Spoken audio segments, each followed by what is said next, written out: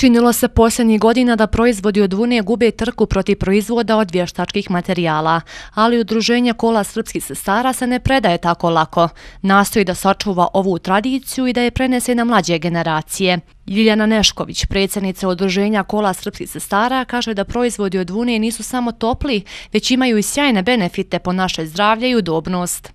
Ja imam dosta godina i pamtim kad je vuna bila zakon naša Sarajevsko-Romanijska regija uvijek je imala ovčarstvo razvijeno.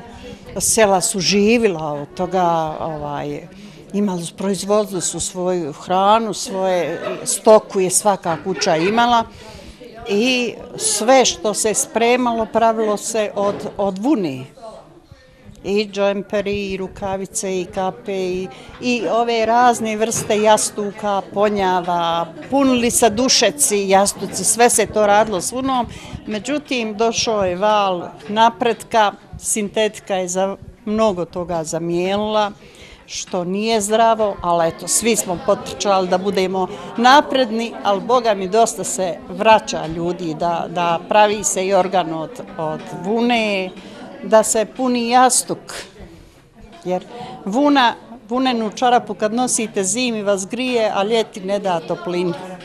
I to, to je baš nako, ali to niko od nas ne svaća dok ne dođemo u ove neke godine kad reuma počne da radi. Jelena Petrović, sekretar Crvenog krsta Pale, istakla je da je cilj saradnje i druženja uspješno realizovana barem jedna humanitarna akcija. Ovo je naša treća radionica po redu. Imali smo do sad jednu isto u izrad ručnih radova, jednu spremanju tradicionalnih jela. Ovo nam je znači treća po redu, a druga u, u izrad ručnih radova. Mi e, smo ovo organizovali u saradnji sa Alter Rural organizacijom koja je naš sponsor, gospođa Sara. To je inače jedna organizacija iz Francuske koja se bavi očuvanjem baštine, znači kako u očuvanju ručnog rada, tako i u spremanju tradicionalnih jela i ruralnog turizma.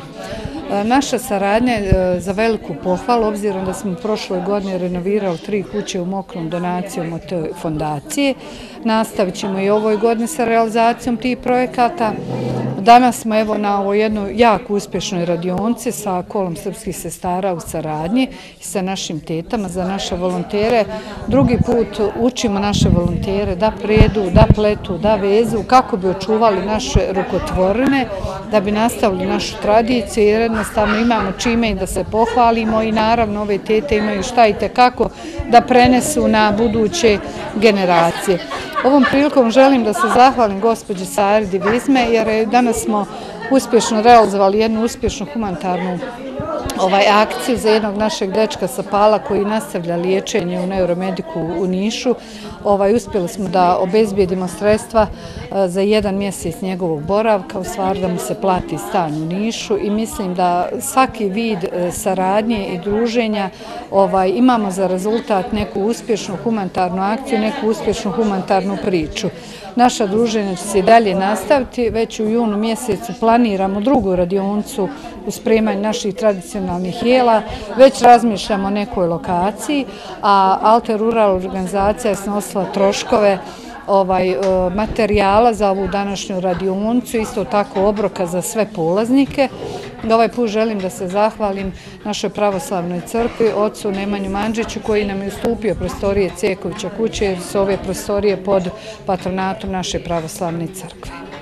Sara Deviz, predstavnik udruženja Arte Rural Francuska, rekla je da je veoma zadovoljna gostoprimstvom i da će uvijek rado učestovati u očuvanju tradicije humanog i dobrotvornog rada srpskih žena. Danas nam je čas raditi sa kolo sestara, e, srpskih sestara. E, naš cilj današnji je da očuvamo što više tradicije i nematerijalne baštine ruralni područje Palih. Više o vašoj tradiciji. Šta je najzastupljenije kod vas? Kod nas, e, ja sam inače iz Francuske, kod nas, nažalost, to se sve umire i jako mi je drago što vidim da danas imamo mladi ljudi iz Pale koji još žele da uči od svoje, od eh, najstarijih. Kolo srpskih sestara sveta velikomučanica Tekla je za svoj rad dobio niz odlikovanja i priznanja, među kojima je krst milosrđa i gramata Srpske pravoslavne crkve.